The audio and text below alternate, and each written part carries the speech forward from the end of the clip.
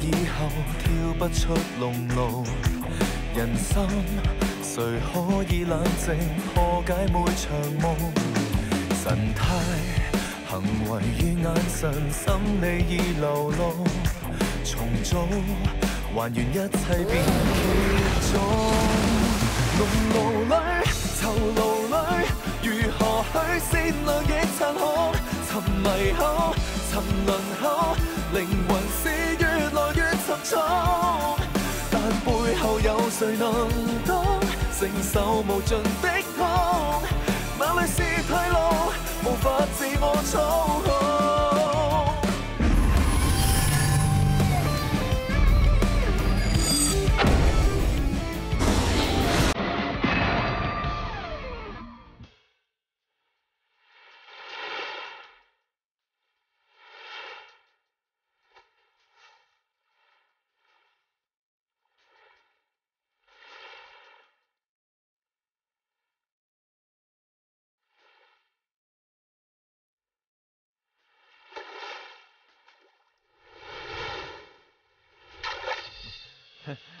កុំអីកុំអីម៉ាក់កុំអី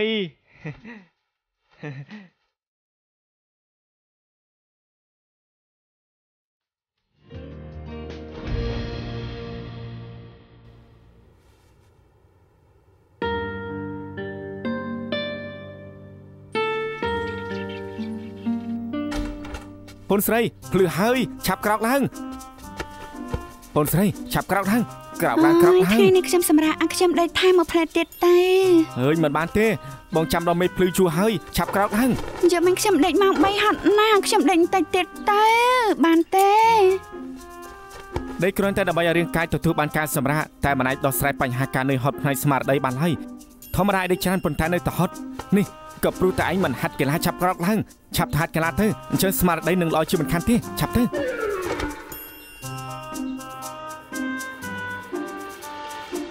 បងប្រុសលេងចាក់ហើយនៅលេងចាប់ហើយនៅបើហាថ្ងៃតទៅទៀតខ្ញុំនឹងខ្លាចជាសក់សពស្ងួតហើយឯដឹងទេអ្នកដែលធ្វើការលើសពី80%នៅក្នុងបន្ទប់ធ្វើការយូរពេកមិនដែលបានចេញមហាថ្ងៃធ្វើរាងកាយរបស់យើងនេះគឺខ្វះវីតាមីន D អញ្ចឹងអាចនឹងមានជំងឺពុកឆ្អឹងហើយត្រីឃ្លីសេរីខុសប្រក្រតីម្យ៉ាងទៀតក៏អាចមានជំងឺអេតាប៉ូលីសដែរណាវាអាចបញ្ចេញសារធាតុ1.5ដងបាម្នយ៉ាងហើទៀតយ ខ្ញុំដឹងថាពូព្រះអាទិត្យល្អចំពោះពួកយើងណាតែមិនបាច់មកក្នុងពេលដែលព្រះអាទិត្យក្តៅដល់ម្លឹងទេ បងប្រុសខ្ញុំខ្លាចថាខ្ញុំមិនទាន់ពុកឆ្អឹងផងក៏កាត់មហារីកស្បែកមុខបាត់ទៅហើយម្យ៉ាងក្រែងធម្មតាបងចូលចិត្តនៅផ្ទះអង្គុយនៅមុខកុំព្យូទ័រណាហេហេតុអីថ្ងៃនេះក៏ចង់ចេញក្រៅនៅអុកខ្ញុំមកវាខ្សាច់ទាំងព្រឹកទៀតពូនស្រីឯងជឿថាក្នុងលោកនេះមានច្បាប់ស្រូបទាញដែរទេថាម៉េច វាជាវិធីប្រើប្រាស់ប្រេកងនៃការគិតដើម្បីសម្រេចគោលដៅបានន័យថាយើងចង់ឃើញអីគឺតែងតែឃើញនោះចក្រវាលមួយនេះនឹងផ្ដល់ឲ្យឯងឯងចង់ជួបអ្នកណាតែងនឹកអ្នកណានោះហើយគេនឹងអាចលេចមុខនៅនឹងមុខឯងភ្លាមៗណាបើសិនជាក្នុងលោកនេះមានច្បាប់ស្របទាញមែនអញ្ចឹងម្នាក់ម្នាក់នឹងអស់ស្បែកគ្រប់គ្នាហើព្រោះមានយអ្នកខ្លះចង់មានការចងចាំខ្លាំងអ្នកខ្លាំងទទួលបានអ្នកខ្សោយច្បាស់ជាមិនបានទេមិនបានន័យថាច្បាប់ស្រូបទាញគ្មាននោះទេអញ្ចឹងបើសិនជាបងមានកម្លាំងស្របទាញមែនបងចង់ស្របទាញអីទេ សរុបទៅបងជុលថាមានចុះឯងចង់ស្រូបទាញអីដែរបងប្រុសបើមានច្បាប់ស្របទាញមែនខ្ញុំចង់ស្របទាញស្របទាញឡានតាក់ស៊ីដែលមានម៉ាស៊ីនត្រជាក់មួយគ្រឿងដឹកខ្ញុំទៅផ្ទះបងវិញស្រីបងចូលដើរលេងមកផ្លេតទៀតឈប់បានលេងទេហើយតក្តៅណាស់ក្តៅណាស់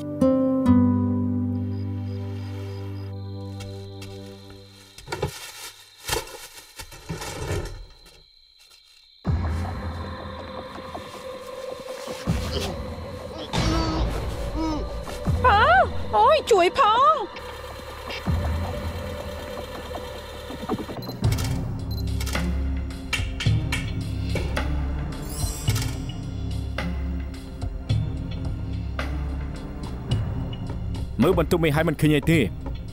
ហើយចុះឯងគ្មានទេពេលនេះអ្វីដែលខ្ញុំនឹកឃើញថាបាត់មានតែប៉ុណ្្នឹងទេបើសិនជាលោកនឹកឃើញអីប្រទះឃើញអីឬក៏មានរបស់អីបាត់ទៀតឆាប់ប្រាប់ពួកខ្ញុំភ្លាមខ្ញុំដឹងហើយថ្មីថ្មីនេះនៅតំបន់នេះមានករណីចោរកម្មពីរបីដែរខ្ញុំជឿថាគឺបាក់ពួកតែមួយជាអ្នកធ្វើពួកខ្ញុំកំពុងតែសើមចាប់ជនល្មើសអូនសម្លាញ់ លោកប្តីបងមិនអីទេហ៎មានត្រូវត្រង់ណាទេខ្ញុំបាត់ដំណឹងភ្លាមក៏ឆាប់ចេញពីម៉ាកៅមកភ្លាមមិនអីទេអ្នកស្រីស៊ីលោកស៊ីទៅពិនិត្យរួចហើយគ្រូពេទ្យថាគ្រាន់តែរបួសសះស្បែកមិនអីនោះទេមិនបានត្រូវទៅទេទៅដុកទ័រលីស្អែកណាត់ពេលទៅពិនិត្យឲ្យច្បាស់ទើបបានប្រាប់ហើយថាមិនអីទេកុំពិបាកអីទៅផ្ទះចាំអនិយាយអរគ្នាគុណហើយប្រយ័ត្នផងលោកស៊ីខ្ញុំគិតថាលោកមិនទាន់អាចទៅបានទេខ្ញុំនឹងមានការសួរលោកទៀតលោកស៊ី លោកស្គាល់ស្បែកជើងកែងមកគូនេះដែរទេប្រពន្ធខ្ញុំមានស្បែកជើងកែងច្រើនណាស់មួយណាជាមួយណាខ្ញុំបែងចែកមិនដឹងទេមែនទេពេលគ្នាខ្ញុំទៅឆែកឆេរបានមើលឃើញទូដាក់ស្បែកជើងប្រពន្ធលោកមែនពិតជាច្រើនដល់ថ្នាក់មើលស្វាងភ្នែកតែប្រពន្ធលោកពាក់ស្បែកជើងលេខប្រមាណលោកពិតជាមិនដឹងពិតមែនណាខ្ញុំមិនដែលកំដរគេទៅទិញស្បែកជើងមិនដឹងក៏មិនចម្លែកដែរតែនៅទូដាក់ស្បែកជើងរបស់អ្នកស្រីស៊ីស្បែកជើងកែងទាំងអស់សុទ្ធតែលេខ35 មានតែមួយគូនេះទេដែលលេខ38ខ្ញុំគិតថាជើងប្រពន្ធលោកមិនអាចប្រែជាធំភ្លាមភ្លាមៗហើយត្រូវទិញធំដល់ទៅ3លេខទេតែស្បែកជើងមួយគូនេះជារបស់អ្នកណាអើយផ្ទះខ្ញុំមានតែប្រពន្ធខ្ញុំទេដែលពាក់ស្បែកជើងកែងអាស៊ុយបន្តិចទៀតយកស្បែកជើងកែងពីរគូនោះទៅពិនិត្យ DNA ទៅចាំមើលថាលោកស៊ីចាំខុសដែរអត់ Yes sir លោកស៊ីបើលោកមានរឿងអីលាក់បាំងនៅពួកខ្ញុំខាងប៉ូលីសពិតជាពិបាកជួយលោកណាស្បែកជើងមកគូនោះ គឺរបស់ជីជីជីជីជាលេខាផ្ទាល់ខ្លួនខ្ញុំគេគេក៏ជាមិត្តស្រីខ្ញុំដែរពួកយើងលួចតាក់តងគ្នាមួយឆ្នាំហើយយប់មិញឆ្លៀតពេលដែលប្រពន្ធខ្ញុំទៅមកកៅហើយអ្នកបំរើសម្រាប់ខ្ញុំក៏ហៅជីជីមកផ្ទះពេលខ្ញុំចេញមកពីបន្ទប់ទឹកក៏ត្រូវគេវាយសន្លប់ពេលខ្ញុំដឹងខ្លួនក៏ត្រូវគេចាប់ចង អេឯងធ្វើស្អីជីជីកុំខ្លាចមានបងនៅហើយតែកញ្ញាស្អុយមើលថែខ្លួនឯងសិនទៅកុំបាក់គេជួយខ្ញុំផង ជួយខ្ញុំផងបារម្ភពីស្រីឯណាស់មែនទេយកលុយមលួសទៅយើងពីមានឯងកុំប្តឹងពលីសោះពេលនោះខ្ញុំពិតជាមិនដឹងធ្វើម៉េចទេលោកអា តើតើនឹងរឿងខ្ញុំហើយនឹងជីជីពួកលោកអាចលាក់ប្រពន្ធខ្ញុំបានទេទុកចិត្តចុះលោកស៊ីលុះត្រាតែចាំបាច់មិនអញ្ចឹងខាងប៉ូលីសមិនអាចបកក្រាត់រឿងផ្ទាល់ខ្លួនរបស់ម្ចាស់រឿងក្តីបានទេចុះលោកមានមើលឃើញមុខចោលទាំងពីរនាក់នោះដែរទេមិនឃើញទេពួកគេពាក់មួតនឹងម៉ាស់មិននឹងមើលឃើញទៅតុងសម្លេងពួកគេយ៉ាងម៉េចដែរជាអ្នកនៅទីនេះឬក៏ជាអ្នកនៅអាស៊ីខាងត្បូងចៅពីរអ្នកនោះនិយាយកតាំងស្ដាប់ទៅគ្មានតង់សំលេងអីទេ មិនដូចជាអ្នកអាស៊ីខាងត្បូងឡើយតែអ្នកបើកឡានខ្ញុំមិនដឹងថាជាអ្នកអាស៊ីខាងត្បូងឬអត់ទេលោកមានឃើញស្លាកលេខឡានពួកគេដែរទេអត់ទេព្រោះពេលនោះងងឹតណាស់ខ្ញុំមើលមិនច្បាស់ទេលោកស៊ីមករយៈនេះខ្ញុំនឹងចាត់គ្នាការពារខ្លួនលោក24ម៉ោងបើសិនជាពួកចោរតាក់ទងមកលោកមិនអាចចេញទៅម្នាក់ឯងបានទេត្រូវផ្ដល់ដំណឹងទៅខាងប៉ូលីសយល់ទេ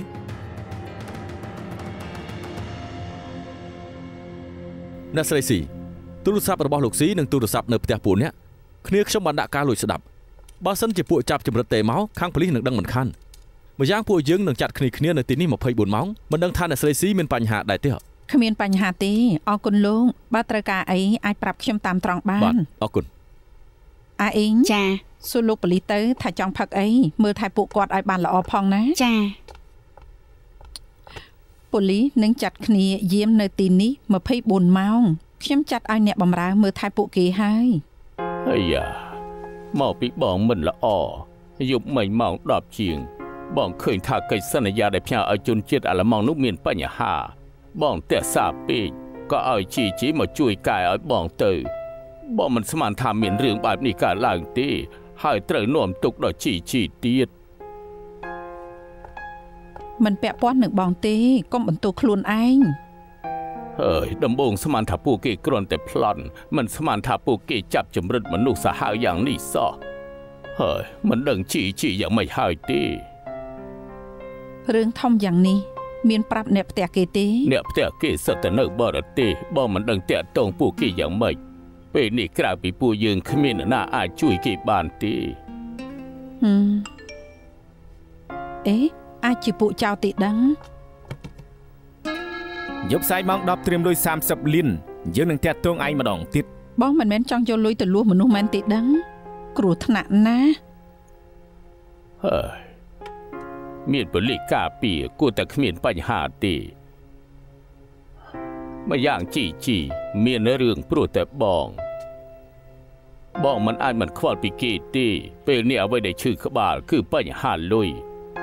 អូនដឹងហើយថាមករយៈមុនបងយកលុយទៅបោះទុនក្នុងផែនការនៅចិនអស់ហើយ ក្នុងពេលខ្លីបងទៅរកលុយពីណាបានទៅអើយពិតជាឈឺក្បាលមែនជំពាក់ប្រមាណទៅភិហ៊ុននៅធនាគារនិងលុយបរទេសខ្ញុំ បើបូកជុលគ្នាទៅ ប្រហែលមាន10លានដែរមិនមិនបានទៅនោះជាលុយផ្ទាល់ខ្លួនអូនណាប្តីប្រពន្ធនឹងគ្នាចាំគិតច្បាស់ដល់ម្លឹងធ្វើអី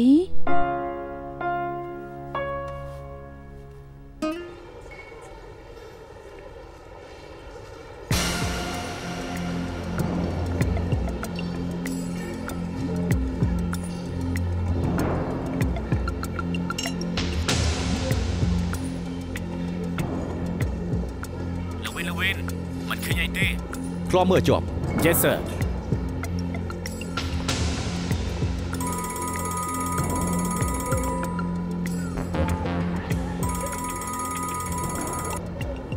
អាឡូ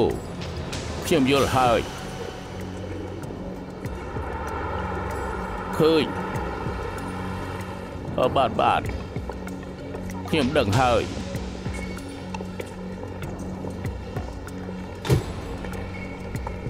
គូដៅលេខមុខដាក់លុយចោះហើយខ្ញុំឃើញហើយ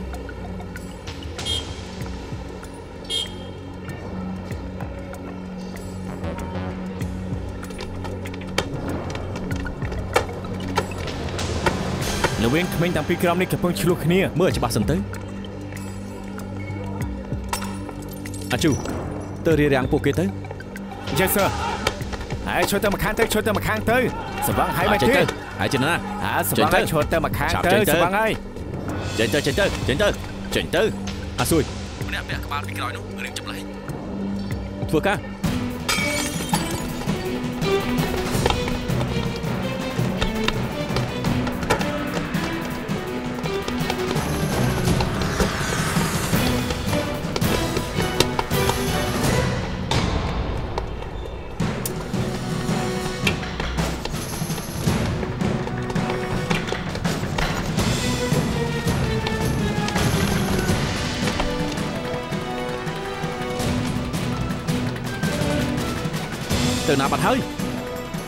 សុំទោលោកសុំទោលោកសុំទោលោកទៅចេញ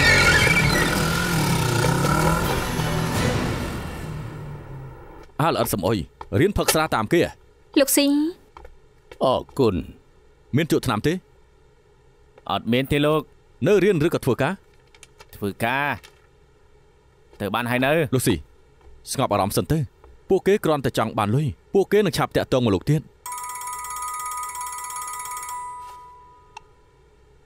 អាឡូអាចងរៃហ៊ានប្តឹងប៉ូលីសផងឯងចាំចូលសារសពទៅអាឡូអាឡូមានរឿងអីគេឲ្យខ្ញុំចាប់យកសាកសព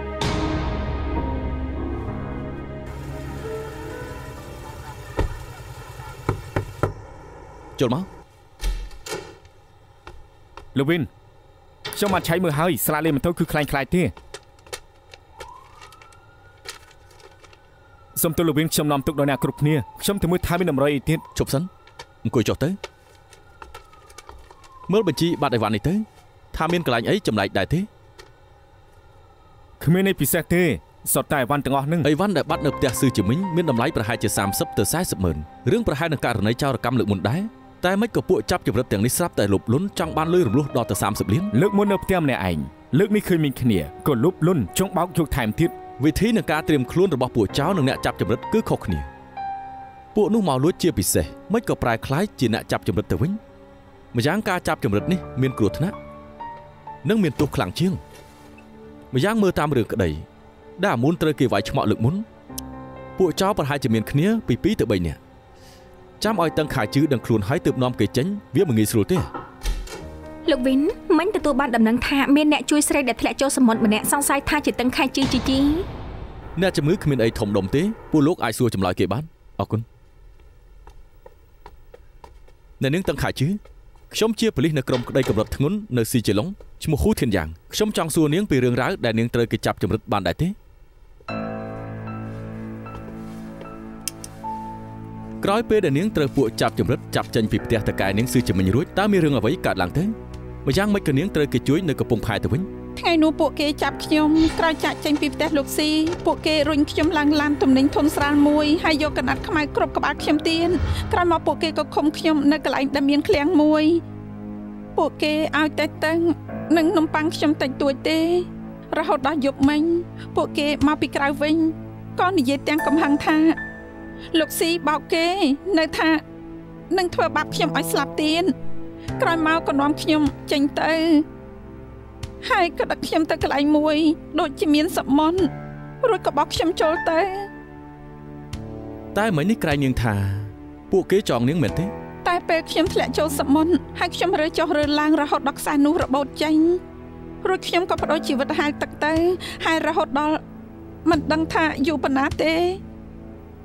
ខ្ញុំក៏ស្រាប់តែអស់កម្លាំង តែខ្ញុំឃើញថានៅខាងមុខមានពន្លឺខ្ញុំប្រាប់ខ្លួនឯងថាត្រូវហែលបន្តទៀតមិនអញ្ចឹងច្បាស់ជាស្លាប់ហើយទីបំផុតខ្ញុំក៏ហែលដល់ត្រៃម្ខាងពេលនោះក៏មានអ្នកឃើញខ្ញុំទៅចុះនាងដឹងថាពេលនោះមានគ្នាប្រហែលប្រមាណអ្នកទេយ៉ាងហោចណាស់3នាក់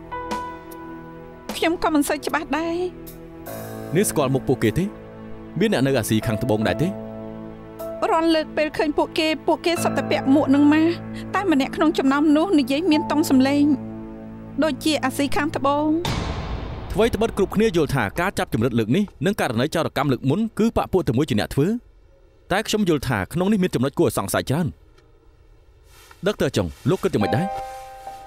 ខ្ញុំអាចកភាពនឹងគំនិតលោកវិញទង្វើលើកនេះមិនដូចករណីចោរកម្មប្រមាណលើកមុនទេ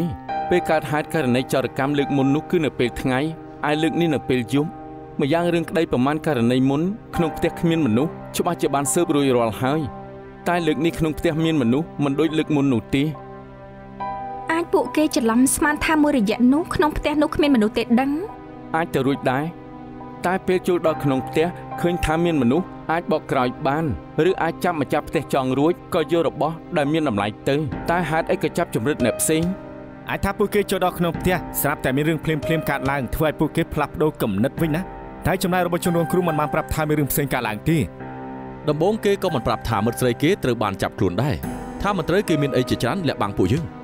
បើមើលតាមចិត្តសាស្ត្រភាពខុសគ្នាដ៏ធំរវាងចៅនិងអ្នកចាប់ចម្រិតចៅមិនបាច់ប្រឈមនឹងម្ចាស់ខ្លួនដោយផ្ទាល់ភាពអាក្រក់តិចជាងតែអ្នកចាប់ចម្រិតត្រូវប្រឈមមុខនឹងម្ចាស់ខ្លួនអាចនឹងធ្វើឲ្យម្ចាស់ខ្លួននោះមានរបួសទៀត អាចនឹងបង្ខាំងពេលយូរឬក៏សម្លាប់ចោលក៏ថាបានមែនហើយព្រោះចៅលោកមុនពេលត្រូវអាមុនឃើញអាមុនថាចង់ប្តឹងប៉ូលីសចៅគ្រាន់តែវាយគេឲ្យស្លាប់ប៉ុណ្ណោះមួយចំនួនទៀតផ្ទះដែលត្រូវចោលលួចលើកមុនទាំងអស់សិតតែនៅចិត្តផ្លូវណាស់វាងាយស្រួលនឹងចោលចាក់ចេញពីកន្លែងកើតហេតុប៉ុន្តែចម្ងាយលើកនេះរៀងឆ្ងាយអញ្ចឹងអ្នកចាប់ចម្រិតនឹងចោតនោះអាចមិនមែនជាប៉ាពួកតែមួយទេឆាប់ចាត់គ្នាទៅថែមទៅ ទៅមើលកន្លែងកាត់ហែកលោកមុនទៅឆែកមើលថាតើមានផ្ទះទូលណាដែលពិសេសដោយដឹកទ័រចុងនិយាយដែរទេខ្ញុំជឿថាមិនមែនជាទង្វើបាក់តែមួយទេពួកគេច្បាស់ជាឆាប់ធ្វើការទៀត Yes sir Yes ជា sir សា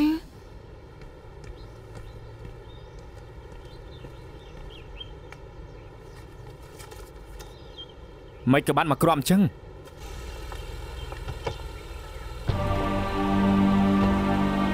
ម៉ាក់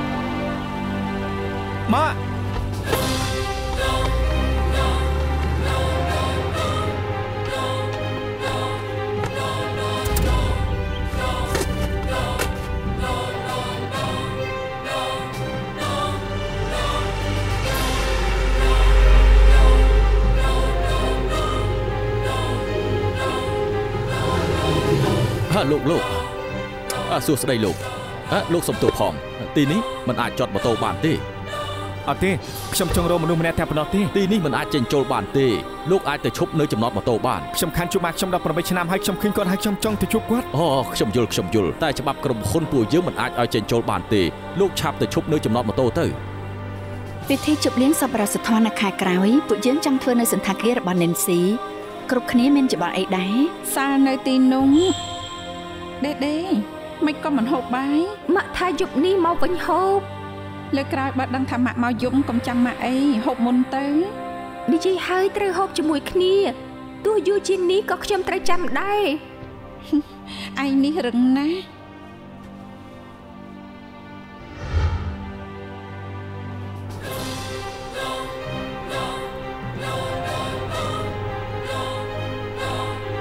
ខ្ញុំខានជួបបាទខ្ញុំ18ឆ្នាំហើយខ្ញុំឃើញគាត់ហើយខ្ញុំចង់ទៅជួបគាត់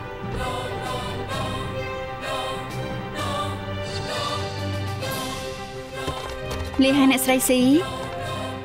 អ្នកស្រីស៊ីមិនក៏មិននិយាយអីគិតអីដល់ចូលអារម្មណ៍យ៉ាងនេះគ្រាន់តែហត់ប៉ុណ្ណោះបើហត់ឆាប់ទៅសម្រាប់ទៅចាំខ្ញុំជូនអ្នកទៅចុះអឺកុំអីខ្ញុំនៅមានការទៀនបានអញ្ចឹងខ្ញុំទៅមុនហើយ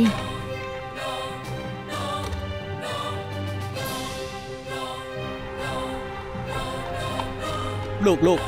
លោកមិនអាចឈប់ម៉ូតូនៅទីនេះបានទេហើយឈប់នៅទីនេះគឺល្មើសច្បាប់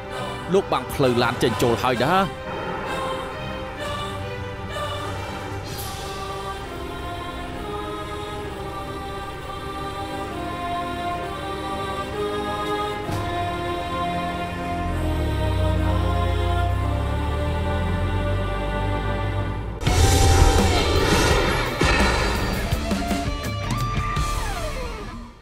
អរគុណហើយកំកោសំអីអេអ្នកស្រីស៊ីអ្នកស្រីស៊ីអេអេឡាឯងក៏មកដែរមែនហើយមករួមការងារសុទ្ធតែរវល់ក៏ប្រាប់ឲ្យខ្ញុំតំណាងពួកគេមកសុខសុខទុកជីជីទៅយ៉ាងម៉េចហើយជីជីហាអឺខ្ញុំអស់អីហើយគ្រូប៉ែតប្រាប់ថាអាចចេញពីប៉ែតបានអរគុណដែលអ្នកស្រីបារម្ភអ្នកស្រីស៊ីខ្ញុំទៅជួយធ្វើលិខិតឲ្យជីជីសិន ចេញពីប៉ែតលឿនដល់ម្លឹងផងមិននៅប្រហែលថ្ងៃទៀតទេហ៎ពេលនេះខ្ញុំអស់អីហើយត្រូវការឲ្យខ្ញុំជួយអីទេមិនរំខានទេ អ្នកស្រីស៊ីឯងកុំគួសមនឹងខ្ញុំឯងកើតរឿងលើកនេះសត្វតែធូនីនាំទុងធូនីនេះក៏ចាប់ដែរហើយឯងជាស្រីម្នាក់ឲ្យទៅផ្ទះទាំងយំឯកសារអីក៏សំខាន់ម្ល៉េះមិនក៏មិនអាចដោះស្រាយនៅថ្ងៃទី2បាន ឯកសារនោះសំខាន់ណាស់លោកស៊ីយកចិត្តទុកដាក់នឹងការរកស៊ីជាមួយជនជាតិអាល្លឺម៉ង់គាត់ចង់ដោះស្រាយនៅយប់នោះឲ្យរួចមែនណាខ្ញុំថាឲ្យគាត់ហើយដើម្បីការរកស៊ីមួយអាចនាំទុកដល់គេមួយជីវិតឯងក៏អញ្ចឹងដែរឯងគួរតែចេះបែងចែកថាស្អីគួរធ្វើ ថាស្អីមិនគួរធ្វើឯងអាចបដិសេធបានអើយពេលនេះខ្ញុំអស់អីហើយ កំរណាស់ដែលនៅក្រុមហ៊ុន មានបុគ្គលិកល្អដូចឯងនេះចាំខ្ញុំប្រាប់ធូនីឲ្យច្បាប់ឯងសម្រាប់ប្រហែលថ្ងៃឯងត្រូវសម្រាប់ឲ្យស្រួលត្រូវសម្រាប់ឲ្យស្រួលណាអរគុណហើយអ្នកស្រីស៊ី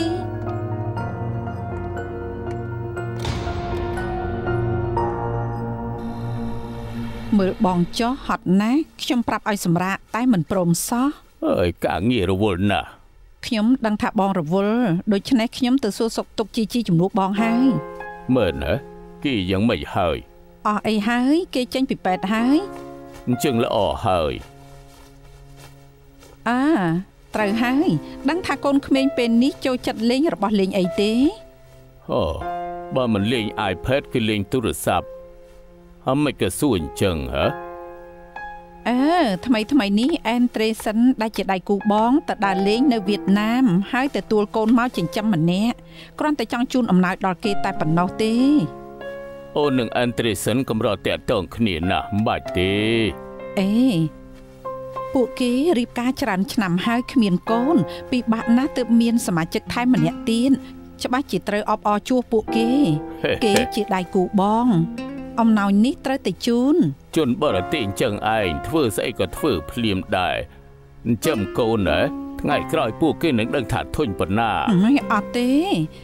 ថ្ងៃសៅរ៍អាទិត្យថ្មីថ្មីៗនេះខ្ញុំតែងឃើញពួកគេផុសរូបជុំគ្រួសារក្នុង Facebook អ្នកដែលពួកគេអញ្ចឹងមិនដឹងថាជានរណាផង អាចពិបាកអញ្ចឹងហេម្ដាយបង្កើតមិនធំស្មើម្ដាយចិញ្ចឹម នៅជាមួយគ្នាយូរយូរនឹងបង្កើតមនោសញ្ចេតនាហឺ បើមិនមែនកូនបង្កើតនៅតែជឿមិនបានតាមដុកទ័រចង់និយាយផ្ទះទួល3ខ្នងនេះសុទ្ធតែស្តៀងនឹងផ្ទះក្នុងករណីចោរប្លន់កាលពីលើកមុនឯម្ចាស់ផ្ទះប្រមាណខ្នងនេះវិញតែងតែចេញក្រៅមកនៅផ្ទះអាចនឹងខ្លាចជាគោលដៅបន្ទាប់របស់ចៅ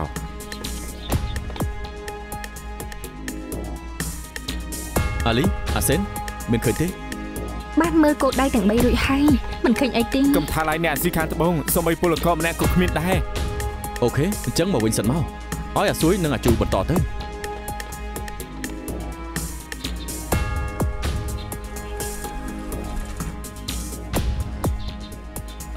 ទឹកមួយម៉ាត់នេះជួយជីវិតបានមែនខាងក្រៅក្តៅដល់ហើយយុវវ័យត្រូវហត់នឿយបន្តិចខ្ញុំមិនបានមុតមួយម៉ាត់ផងមិនក៏មិនឲ្យខ្ញុំរត់ដែរជីកង់ឡើងទួលនេះពិតជាចង់អស់ជីវិតពិតមែនអាស៊ុយចាំចេញពីធ្វើការចាប់ប៉ុណ្ណឹងតែបងខ្លំមើលឲ្យជាប់ទៅ ធម្មតាឲ្យពឹកខាត់មិនព្រមទេមើលក្បាលពួកឯងចុះលោកសួយនឹងធ្វើបានពេលចុះទួននឹងលេងអីល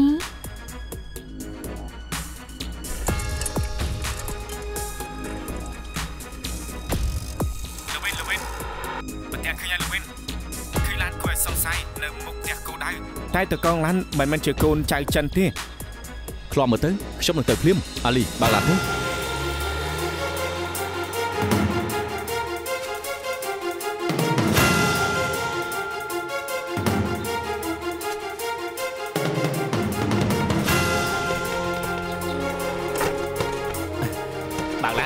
ទៅបើកឡានទៅហើយឆាប់ទៅឆាប់ទៅតែប៉ូលីសនៅសៀមហ៊ីលោកអាលោកសៀមច្បាស់ហើយនៅពួកខ្ញុំយ៉ាងច្រើនណាស់គឺលួចអីវ៉ាន់អារឿងចាប់ចម្រិតនោះខ្ញុំមិនអាចធ្វើទេឯងថាអត់ក៏អត់ដែរជនរងគ្រោះបានចង្អុលឯងរួចទៅហើយអ្នកដែលឯងចាប់មានអ្នកអាស៊ីខាងត្បូងលោកអាអ្នកស្រុកពួកខ្ញុំគឺនៅហុងកុងច្រើនណាស់កុំមកជំរាបបញ្ជីលើក្បាលខ្ញុំអីខ្ញុំប្រាប់លោក សរុបទាំងអស់ពួកខ្ញុំចូលលួចអីវ៉ាន់ក្នុងផ្ទះចំនួន4ដងក្នុងចំណោមនោះគឺមានស្រីម្នាក់ដែរហើយពួកយើងគ្រាន់តែធ្វើឲ្យគេសន្លប់ហើយមិនបានចាប់ចម្រិតទេអ្នកត្រូវគេគំរាមគឺនៅកន្លែងណាពួកឯងលួចគេ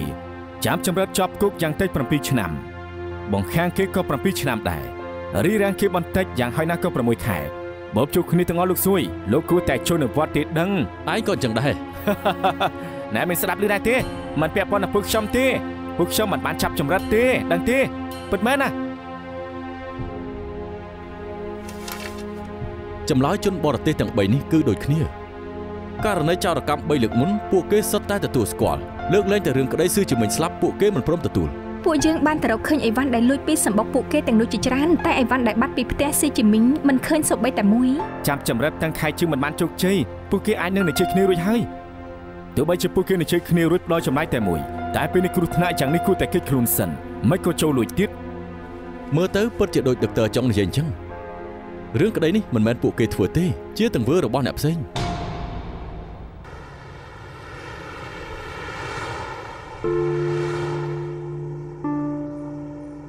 លោកប្រធានអាល្អិតនេះមកទៀតហើយ3ថ្ងៃហើយណាគេចង់ធ្វើអីទៅអាឡានោះនៅតែឈរចាំទៀតទេមែនហើយឈរនៅផ្លូវម្ខាងនោះសម្លឹងមើលច្រកចេញចូលមិនពេចភ្នែកបើគេមិនអាចចូលមកកុំខ្វល់បើមានតែប៉ះពាល់ដល់ពួកជើងប្តឹងប៉ូលីសទៅ ហៅបាទបាទខ្ញុំដឹងហើយ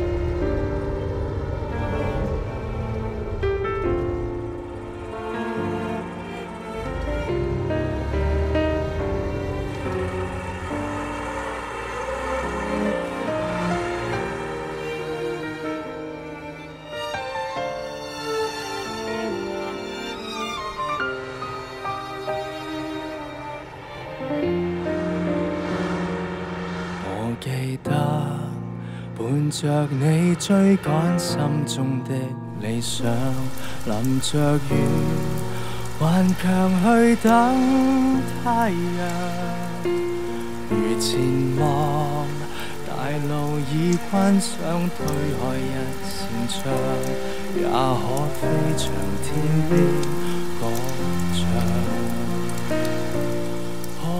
刹那幸运天梯不可再上？幸福的小说最后一章，偏要有哀伤。烦恼要说，亦没对象，由自己一个去惆怅，还是要生活和养伤。在你走的那個晚上，我的心窗開始關上，欠盡無痛癢，媽人生經已創傷。自你走的那個晚上，我再不想不想歌唱，站盡頭去向，回憶心底結霜，呼吸都凍傷。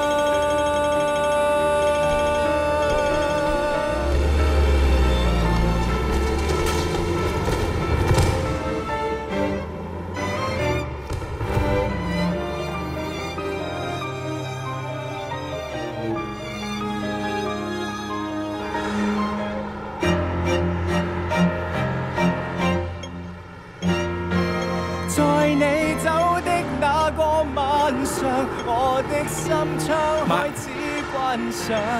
甜上无痛痒，内心经已重伤。 អត់ទេអត់ទេហេមិនអីទេហ៎អត់ទេកាត់អីនឹង ដេញតាមឡានដួល ដេញតាមឡានដួលលោកស្រាប់តែសុំច្បាប់ប្រហែលថ្ងៃមកវិញក៏ខ្លាចជាបែបនេះហី អត់ទេមានតែប៉ែតហើយនៅទឹកមុខលោកពិបាកមើលណាមែនហើយមើលបបោមកលោកស្លេកអស់ហើយទៅរកពេទ្យទៅល្អជាងមិនអីទេខានធ្វើការប្រហែលថ្ងៃខ្ញុំទៅរៀបចំសិនអត់ទេអត់ទេមិនអីទេហ៎អត់ទេអាយយ៉ាងម៉េចអទៅត់ហើយទេមិនកើតទេថ្ងៃនេះលោកសុំច្បាប់ទៀតទៅឆាប់ទៅរកពេទ្យទៅបើលោកមិនទៅខ្ញុំតាក់ទងទៅបងអូនស្រីលោកហើយហៅគេឲ្យមកអូនលោកទៅមិនហើយឆាប់តែប៉ែតទៅ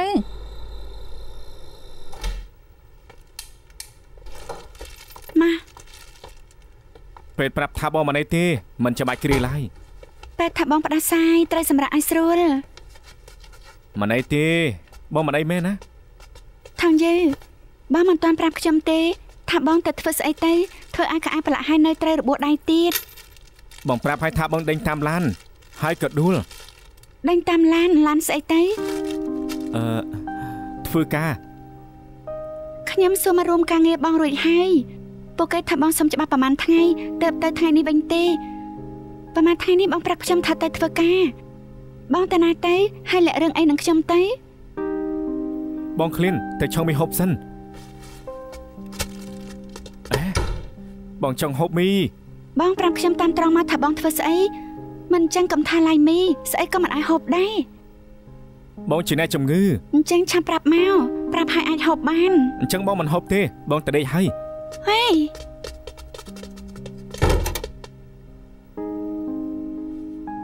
មិនបានមិនបានខ្ញុំមិនអាចឲ្យពុនស្រីឃើញម៉ាក់បានទេមិនបាន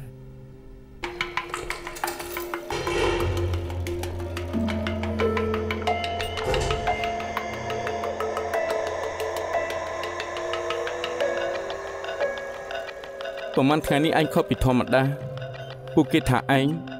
មានការនិយាយនឹងខ្ញុំមែនទេស្រីប្រមាណអ្នកនោះគឺខ្ញុំសម្លាប់ខ្ញុំទទួលខុសហើយមិនពាក់ព័ន្ធនឹងហាយឆឹងទេព្រោះតែឯងស្រឡាញ់វ៉ាហាយឆឹងទើបជួយសម្លាប់មនុស្សឲ្យគេត្រូវទីទេមិនពាក់ព័ន្ធឡើយមនុស្សខ្ញុំជាអ្នកសម្លាប់លោកមិនបាច់កុហកខ្ញុំទៀតទេលោកមិនមែនមានចិត្តចង់ជួយខ្ញុំទេលោកធ្វើបាបហាយឆឹងបើមិនមែនព្រោះតែវ៉ាហាយឆឹងឯងសម្លាប់មនុស្សដែរហេតុអីឯងថាមិនពាក់ព័ន្ធនឹងគេស្អីក៏លោកមិនដឹងពួកគេទាំងអស់នោះដែលទុកហាយឆឹងជាមិត្តទេ ពួកគេគ្រាន់តែស្រឡាញ់ហាយឆឹងនៅចង់មើលងាយមើលថោកគេថែមទៀតបើខ្ញុំមិនជួយគេទេ ពួកគេនឹងធ្វើបាបហាយឆឹងសមមុខពួកគេហើយសម្ដីនេះគឺវ៉ាហាយឆឹងប្រាប់ឯងមែនទេក្រោយពេលគេប្រាប់ឯងរួចហើយឲ្យឯងជួយសម្លាប់មនុស្សឲ្យគេត្រូវអត់អត់ទេឯងដឹងថាក្រោយឯងសម្លាប់មនុស្សរួចវ៉ាហាយឆឹងនឹងធ្វើអីខ្លះដែរទីក្រោយស្រីស្រីប្រមាណអ្នកនោះស្លាប់វ៉ាហាយឆឹងក៏នៅជាមួយហ្វាងជាឡាំងដែលជាមិត្តប្រុសរបស់សេមីពេលនោះក្រោយមកនៅរៀបការទៀត ពេលនេះម្នាក់ជាពិធីករល្បីនៅក្នុងប៉ុស្តិ៍វិទ្យុម្នាក់ជាគ្រូពេទ្យពួកគេមានក្តីសុខណាស់ចុះឯងវិញឯងនៅក្នុងនេះ5ឆ្នាំហើយ គេធ្លាប់មកមើលឯងម្ដងទី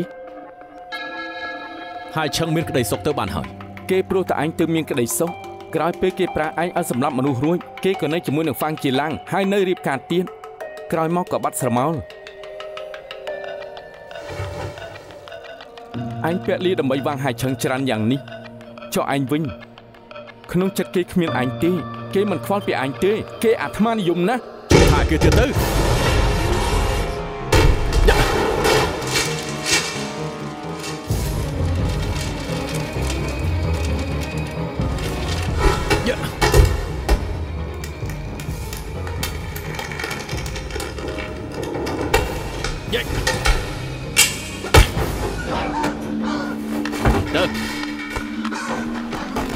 ចង់ធ្វើបាបហើយឆឹងហ៎គ្មានអ្នកអាចធ្វើបាបហើយឆឹងបានទេគ្មានទេទៅ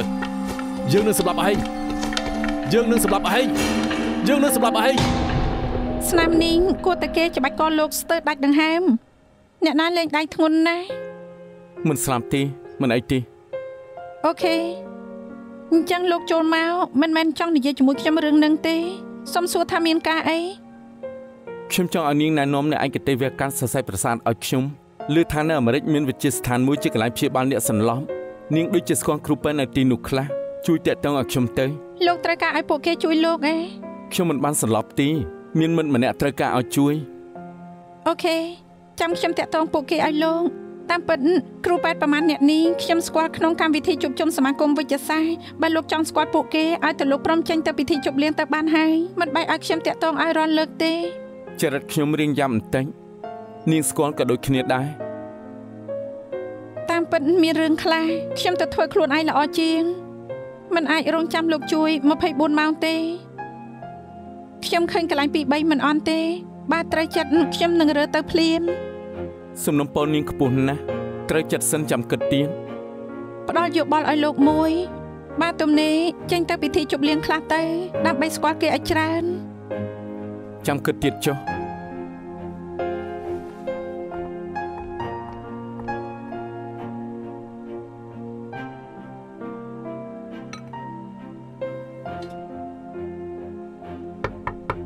ចូលមក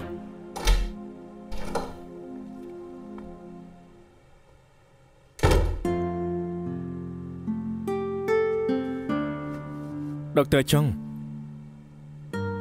អាមុនថាឯងដួលឲ្យផ្ដាសាយទៀនផឹកថ្នាំពីរថ្ងៃគឺអស់អីហើយឯងសុំច្បាប់ដោយសារតែលាក់បាំងនឹងអាមុនធ្វើឲ្យរបួសឲ្យឈឺទៀនម្យ៉ាងអាមុនមិនឲ្យឯងញ៉ាំមីដែលឯងចូលចិត្តឯងក៏មិនថាអីមើលតែឯងមានអាចកំបាំងធំមួយហើយ ដល់ថ្នាក់មិនអាចប្រាប់អូនស្រីឯងឲ្យដឹងខ្ញុំមិនអាចឲ្យពុនស្រីខ្ញុំដឹងបានទេ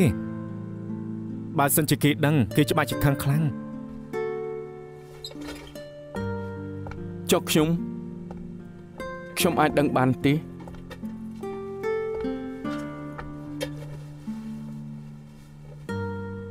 ខ្ញុំឃើញម៉ាក់ខ្ញុំ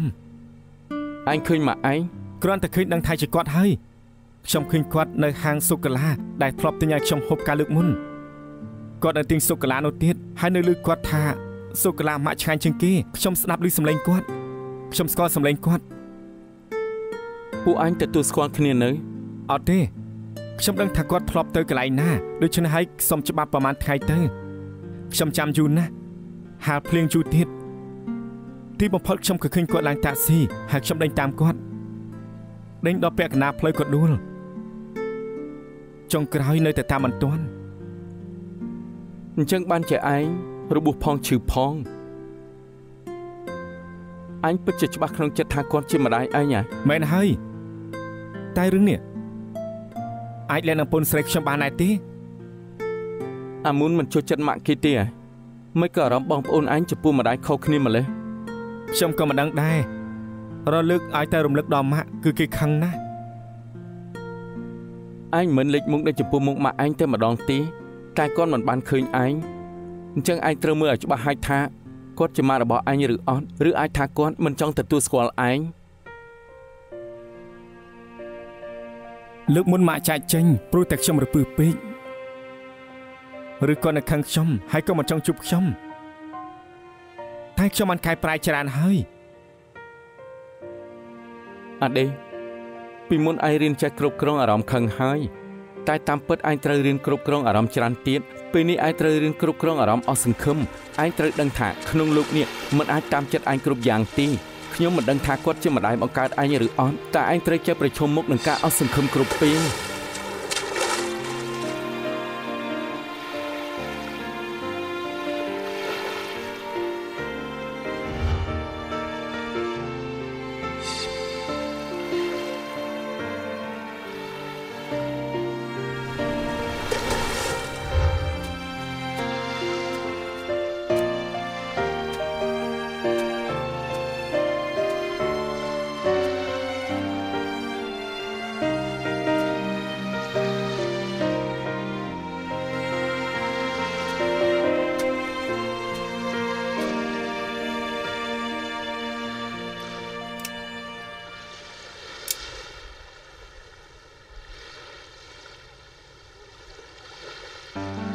ម៉ាក់ម៉ាក់ម៉ាក់ម៉ាក់ស្គាល់ខ្ញុំទេខ្ញុំគឺអាជឿម៉ាក់ខ្ញុំជាកូនប្រុសម៉ាក់ណាឈ្មោះអាជឿម៉ាក់ម៉ាក់នៅមានកូនស្រីម្នាក់ទៀតឈ្មោះថងជាណាម៉ាក់ម៉ាក់មើលឲ្យច្បាស់ទៅខ្ញុំគឺអាជឿក្រោយប៉ាស្លាប់ខ្ញុំនឹងពូនស្រីទៅនៅមណ្ឌលកម្មាកំព្រាម៉ាក់ចាំទេមែនហើយមែនហើយ យើងជាម្ដាយដែលបោះបង់បងប្អូនពួកឯងចោលជាង10ឆ្នាំយើងក៏មិនចង់ដែរតែពេលនោះយើងនៅក្មេងស្អីក៏មិនចេះគ្រប់គ្រងអារម្មណ៍ខ្លួនឯងមិនបានយើងគ្រាន់តែចង់ចេញទៅឲ្យបាត់បានមិនអញ្ចឹងយើងនឹងចាប់ពួកឯងបោះពីជាន់លើដល់ជាន់ក្រោមហើយក៏លុតសម្រាប់ខ្លួនជាមួយគ្នាបាត់ទៅហើយគឺយើងខុសយើងមិនគប្បីនឹងពួកឯងយើងរអៀសចិត្តយូរណាស់ហើយឯងជេរយើងមកជេរយើងមកជេរមកម៉ាក់ម៉ាក់ស្គាល់ខ្ញុំហើយខ្ញុំនឹកម៉ាក់ណាស់ ខ្ញុំដឹងថាខ្ញុំខុសខ្ញុំសុំទោសម៉ាក់កុំធ្វើទៀតអីពេលខ្ញុំនៅតូចតែងតែធ្វើមិត្តភ័ក្តិនឹងលោកគ្រូប្តឹងខ្ញុំធ្វើឲ្យម៉ាក់ទៅសាលាត្រូវគេស្ដីឲ្យទៀត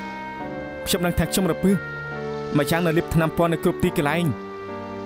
ធ្វើឲ្យម៉ាក់ខឹងណាស់ម៉ាក់ម៉ាក់កំទៅទៀតបានទេខ្ញុំរងចាំម៉ាក់អស់រយៈពេល18ឆ្នាំ6ខែ2ថ្ងៃហើយខ្ញុំសូមវល់ម៉ាក់កំទៅទៀតអីម៉ាក់ ខ្ញុំរកម៉ាក់ដោយលំបាកម៉ាក់កំទៅបានទេ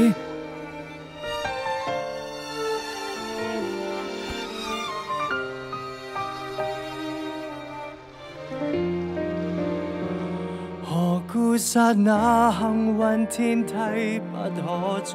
上？幸福的小说最后一章，偏要有哀伤。 煩惱要說，亦沒對象，由自己一个去惆怅，還是要生活和養傷。在你走的那個晚上，我的心窗開始關上，臉上无痛癢，內心經已重傷。個晚上，我再不想不想歌唱，站着无去向，拿得起怎放低这一笔坏账。